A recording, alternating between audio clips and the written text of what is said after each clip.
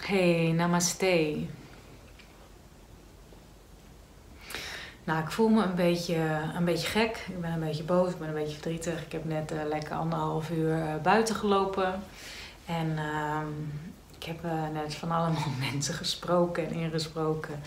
En dan komt er zoveel bij me op. Ik denk, nou, ik ga het ook even, even delen.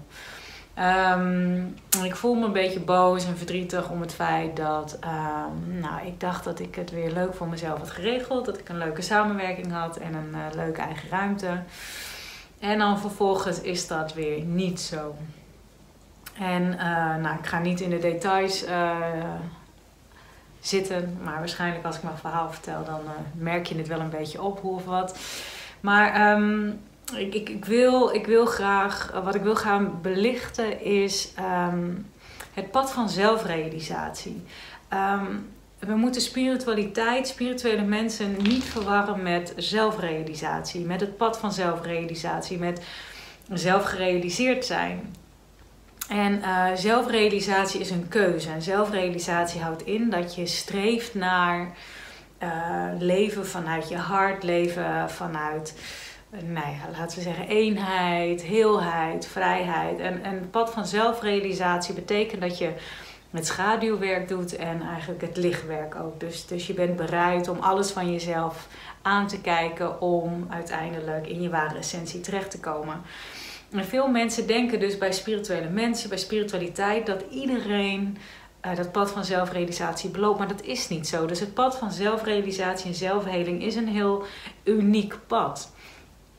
Dus met spiritualiteit, mensen doen, die, die, die komen in contact met reiki, met heling. Hè? Dus dan kom je in contact met, met energie, hoe energie werkt in je lichaam, hoe de energiestromen zijn.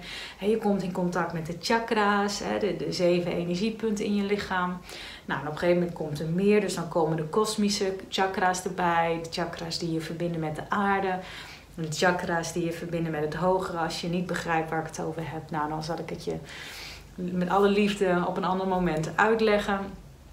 En op een gegeven moment komt de ziel erbij dat je denkt, oh ja, ik kan me dus ook verbinden met, met mijn eigen ziel. Ik ben ook een ziel. Je kan me verbinden met gidsen, begeleiders, engelen, nou, eventueel met hoge uh, geascendeerde meesters, um, nou, met je zielengroep. Op een gegeven moment, je bewustzijn wordt groter en groter en groter. Je kan je verbinden met galactische wezens. Hè? Dus er komen boodschappen binnen. Ik heb eigenlijk een filmpje opgenomen, die wilde ik gisteren uploaden, maar dat lukte me dus niet. Waarschijnlijk om een reden.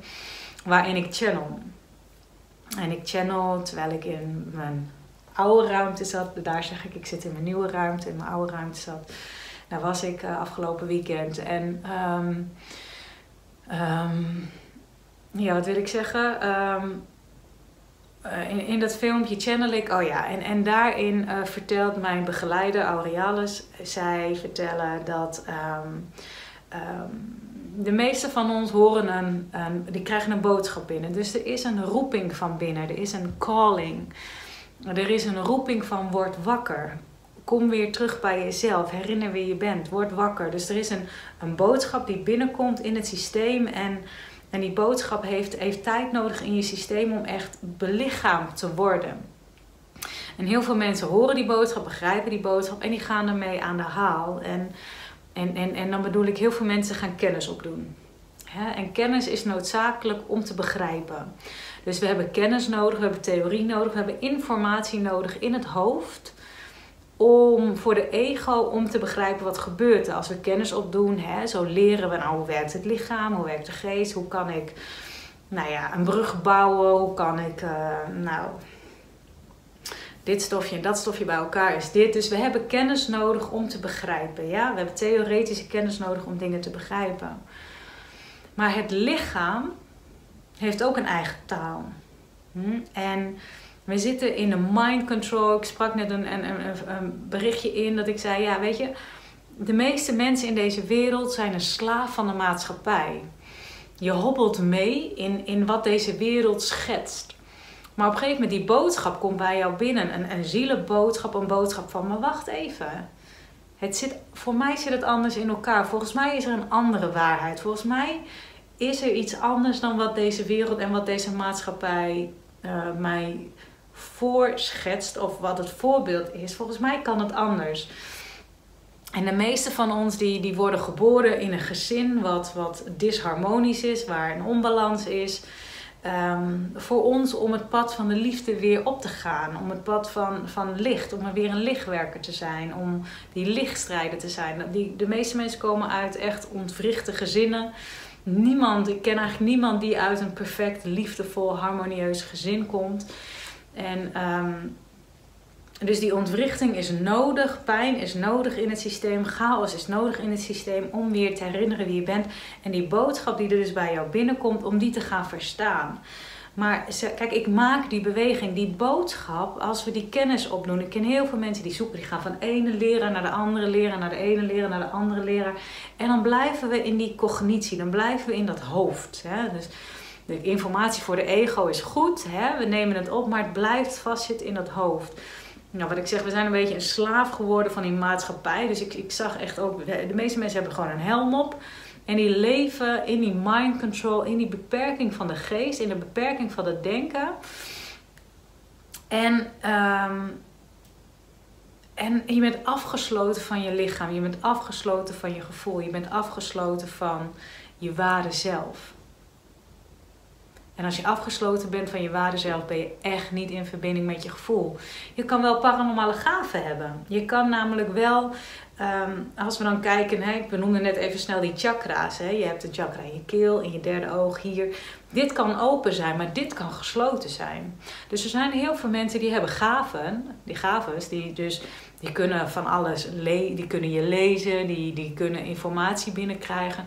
Maar er zit geen beleving in, er zit geen bezieling in. Het, komt niet vanuit het lichaam. En veel mensen die zo gevoelig zijn, die dus de boodschap in het systeem horen, die hebben zoiets van, huh, maar het klopt niet. Er is iets wat mist. En dan kom ik eigenlijk weer bij, bij hè, die, die mind control. Dus we, we, we hobbelen met z'n allen mee. Dit is wat de wereld schetst. Maar om nou los te komen van een mind control betekent voelen. Betekent in contact te komen met je lichaam, betekent voelen. Nou, de meeste mensen die gaan rennen, rennen, rennen, rennen. Maar als je gaat stilstaan in het leven, dan kom je bij dat gevoel. Maar de meeste mensen weten niet hoe ze met dat gevoel om moeten gaan. Dus dan is het, ja, wat nu? Help, paniek. En er gebeurt iets in je leven waardoor je stil moet staan en in contact komt met dat gevoel. En dan komt dus die boodschap binnen. Het gevoel is vaak de boodschap die dus zegt: hé, hey, wacht even.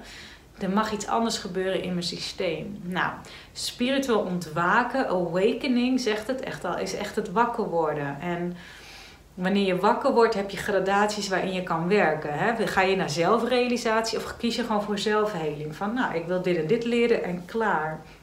En bij de meeste mensen die ik tegenkom, die bij mij komen, daar zit nog een onderlaag in. En die onderlaag voel ik, die onderlaag zie ik.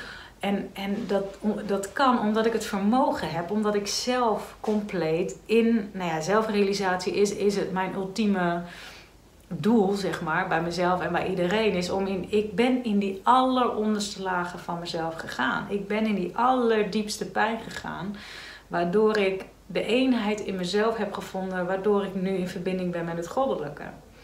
Hè? Dus de divinity. Know thyself, zeggen ze ook vaak. Dus awakening the self. Om jezelf wakker te maken, zijn er meer stappen voor nodig. En het is stap, stap, stap, stap, stap. Het is niet sky high, we zijn meteen op het hoogste treden. En de meeste mensen die verlicht zijn, die ontmoet ik ook. Er zijn heel veel mensen die zijn eigenlijk verlicht. En dan is er iets in het leven waardoor ze terugvallen. En dan, dan ja, verlangen ze weer naar die bovenlaag. Maar er is nog iets in de mind. Wat dus weer, aan, weer ja, opgelost mag worden om weer in die heelheid te komen. Dus dat is het pad van zelfrealisatie. Als je denkt, Manisha, heb je ander haar? Dat heb ik. Als je denkt, er is iets anders met jou. Het zit voor geen meter vandaag. Ik ben opgestaan, een beetje gefeund en ik ben het bos ingegaan. Dus ik heb een mega kuif en het is uh, wat anders. Maar goed. Dus niet alle spirituele mensen zijn bezield met liefde. Is je ook mee eens? Heel veel spirituele mensen hebben trucjes geleerd, hebben vermogens, maar zijn dus niet in die eenheid met zichzelf. En dat is voelbaar. Dat is voelbaar voor jou als je hooggevoelig bent, als je dus op het pad van zelfrealisatie zit. En het is dus ook heel verwarrend. Dus dit is een stuk wat je mag begrijpen. Dus het pad naar zelfrealisatie vraagt heelheid, vraagt eenheid. Vraagt dus een, een, een bezieling van, van liefde, van nou ja, goddelijkheid. Hè? Dat is weer een stap hoger. Ehm, dus we beginnen bij zelfheling. We beginnen bij, oké, ik ga mezelf helen. Er is pijn, ik ga kennis opdoen. En op een gegeven moment vraagt het van, ik wil dingen belichamen. En dat is het pad wat ik met je beloop. Het gaat over, nou ja, je, je hebt niet alleen maar een verhaal in je hoofd, maar je, je lichaam heeft een verhaal. Je lichaam heeft een, een, een, een gevoelsverhaal. Als ik jou hier knijp, dan zeg jij auw, of laat me los. Hè? Ja, als, ik, als ik jou een knuffel geef, dan kan je denken, oh laat me nooit meer los. Hm? Het lichaam, ik zeg ook altijd, vertrouwen zit niet in je hoofd, maar liefde zit ook niet in je hoofd. dus wanneer het lichaam, als er gevoelsbelevingen zijn die positief zijn, als er gevoelsbelevingen zijn van openheid, van vrijheid, van zachtheid, van rust, dan worden die gevoelsbelevingen teruggekoppeld naar het hoofd. Dus dat is een andere theorie, dat is een andere kennis die omhoog gaat naar het denken. Dus er is een andere manier van informatie verwerken. Dus dit is niet wetenschappelijk bepaald. Dus heel veel mensen zeggen dat bestaat allemaal niet. Maar het is menselijk, dat voelen. dat voelen is menselijk. En dus die gevoelstheorie, die gevoelssensoren, die kennis die je in je lichaam opgeslagen hebt, daar ga je dus mee in gesprek. Dus je gaat informatie verwerken vanuit het lichaam. Nou, en dat lichaam is dus een gevoelsmachine, een voertuig. En dat voertuig is belichaamd met jouw ziel. Ja, dus jouw ziel is in essentie dus liefde, licht een, waarnemend vermogen wat alleen maar positief is. Ja? Maar die zit dus ook in je lichaam opgeslagen. Maar in je lichaam zitten dus ook andere dingen opgeslagen. Dus we gaan het lichaam in en luisteren, wat kom je tegen? Wat ik dus zeg vanmorgen van, nou, ik voelde boosheid, ik voelde verdriet.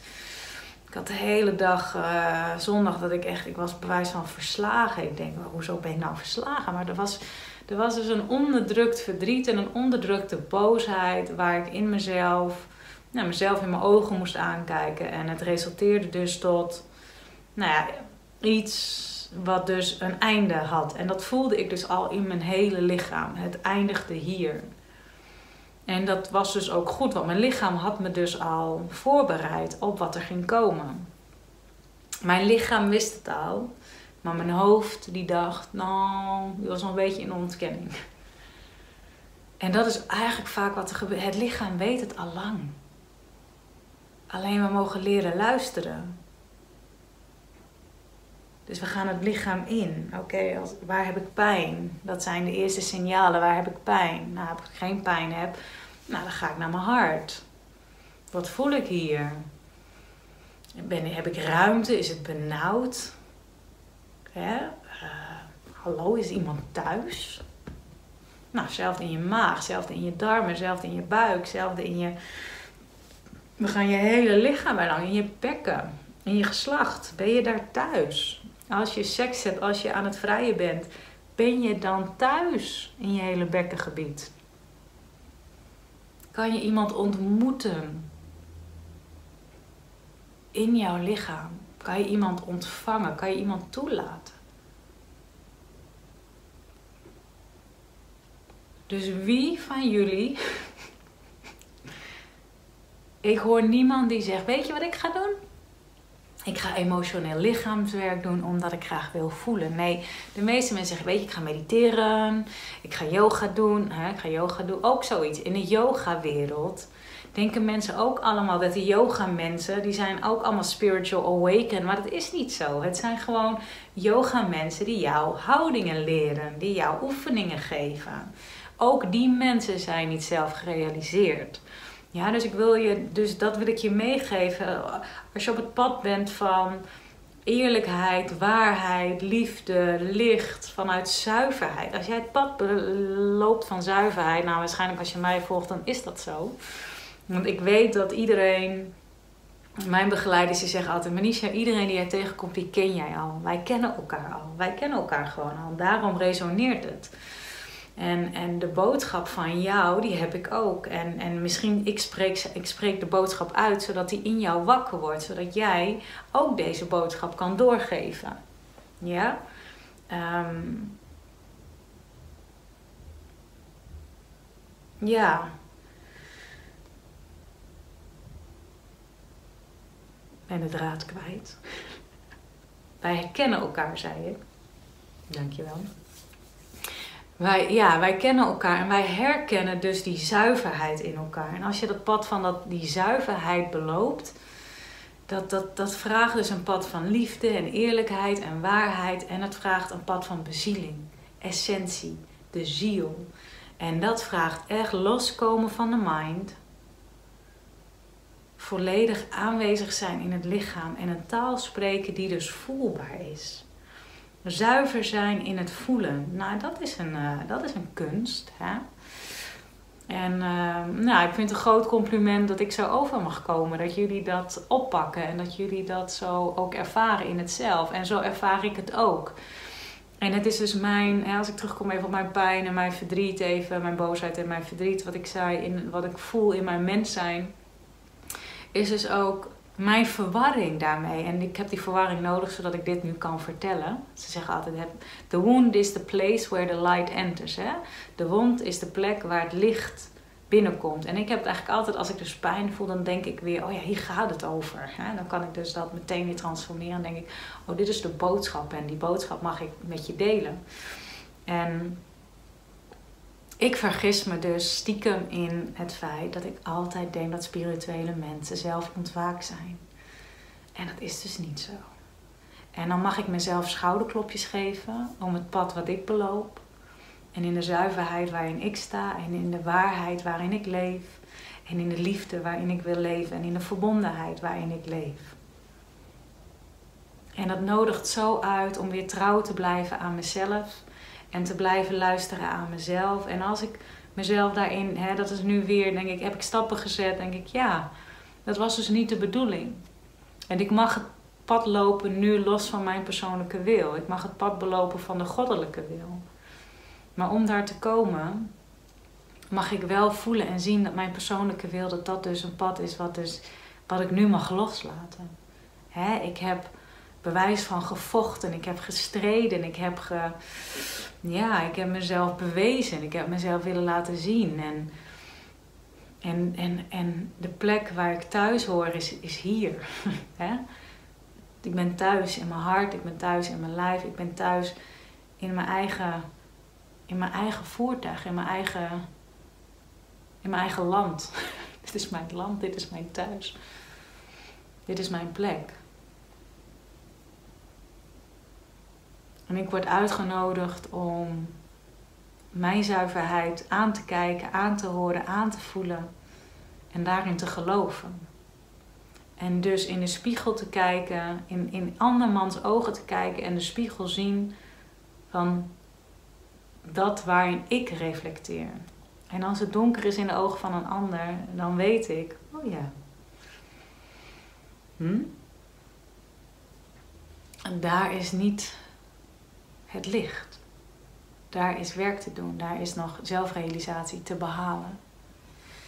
Dus het pad van zelfrealisatie is een pad die, waarin je dus volledig los bent van je pijn, loskomt van je verdriet en jezelf dus eigenlijk met open armen ja, ja, toespreekt, omarmt, aankijkt.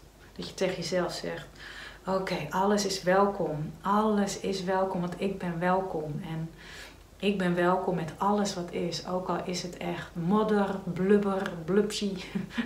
ook al is het troep, is het vuilnis, is het donker, is het vies, is het uh, Ook al is het schaamte, is het schuld, is het haat, is het uh, venijn, is het uh, jaloezie.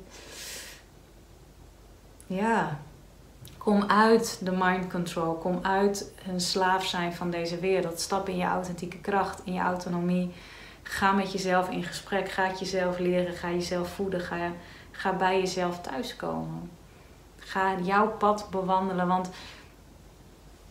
we hebben allemaal ons eigen pad te bewandelen. Je kan ook niet sneller. Er is geen quick fix. Je kan niet, het gaat niet sneller.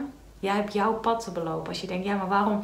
Die gaat meteen zo, zo en zo. En die doet zo, zo en zo. En ik moet zo, zo en zo. Ja, want dit is jouw unieke pad. En de een die doet het zo.